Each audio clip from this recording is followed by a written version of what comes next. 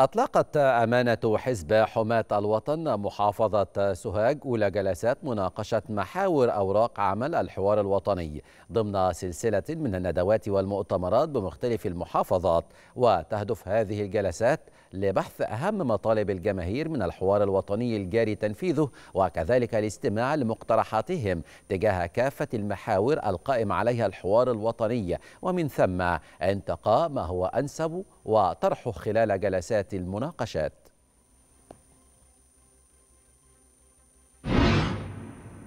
تم اليوم عمل الحوار الوطني في كل المجالات في كل خدنا في الصحة في الزراعة في التغيرات المناخية في كل المجالات اللي بيتم مناقشة فيها في في المحليات في انتخابات المحليات.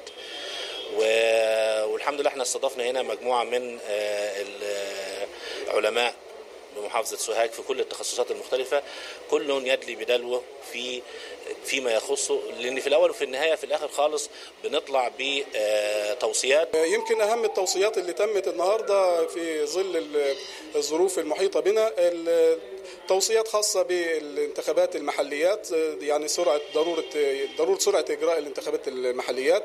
كمان موضوع الانبعاثات الحرارية والتأثير المناخي على على المحيط اللي بيحيط بينا حاليا في مشاكل في موضوع الانبعاثات الحرارية بت بتواجهنا. فيعني دي أهم التوصيات اللي يعني توصى بيها النهاردة في الاجتماع.